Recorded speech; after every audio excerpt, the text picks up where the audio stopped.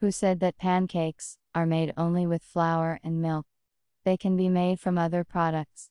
In confirmation, a recipe for making pumpkin pancakes. We clean the pumpkin, remove the crust, 3 on a fine grater. You can grind it in a blender.